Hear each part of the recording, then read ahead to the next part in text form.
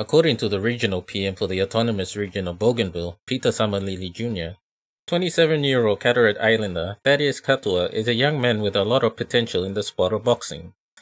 His talent was brought to the fore during his illustrious amateur boxing career, winning gold at the Pacific Games in 2015 and a gold medal at the 2015 Youth Commonwealth Games. Tsiamalili said it wasn't a hard decision to make to support the young man when he decided to turn professional.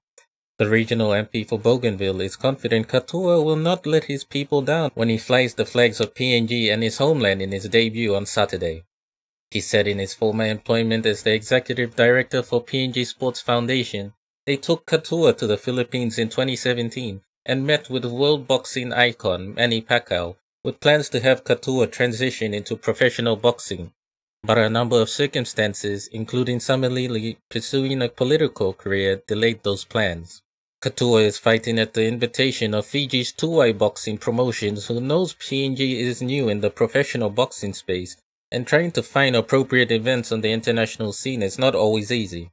Katua, who fought in the 2016 Rio Olympics and 2018 Commonwealth Games in Gold Coast, Australia, is looking forward to his first professional fight and very thankful to everybody who has supported him in his boxing career over the years. Craig Kaviagu, TVWAN Sports.